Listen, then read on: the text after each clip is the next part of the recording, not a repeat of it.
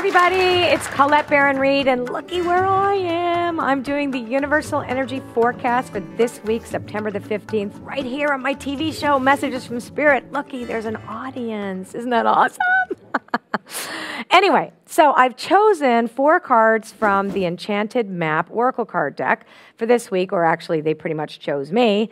And we do have a really interesting week coming up because it's pretty much all about perspective. So the first card we have is called Flying, which is card number 20 in the deck.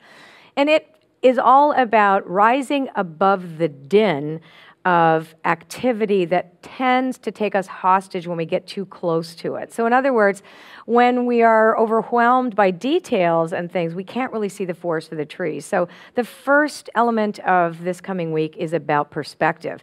And the second one actually supports it amazingly because it's the Wizard of Awareness, which is all about being the observer instead of the participant. So if there's any drama in your life right now, just say no and run away because it's not going to help you at all.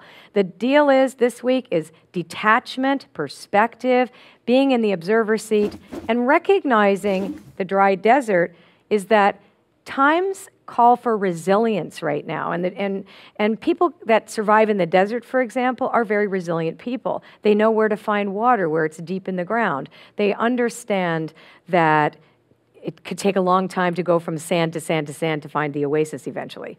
Um, the last card is also telling you, the unexpected visitors card, that you cannot plan what's coming up. Don't try. Don't try to fit things into a box of certainty because this week is again about uncertainty and staying detached from it and just allowing yourself to be present to whatever comes up and then the good surprises come at the end.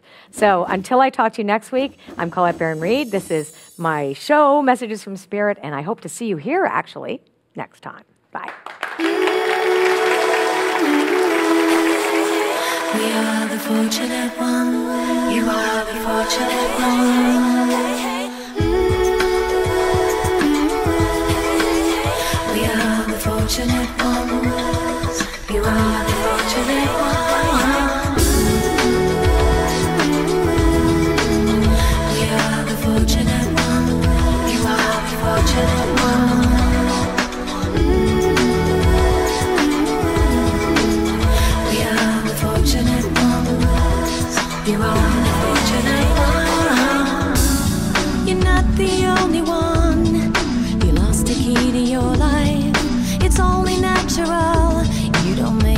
your choices right. So what's your bottom line? Do we want your suicidal denial? And just throw yourself away.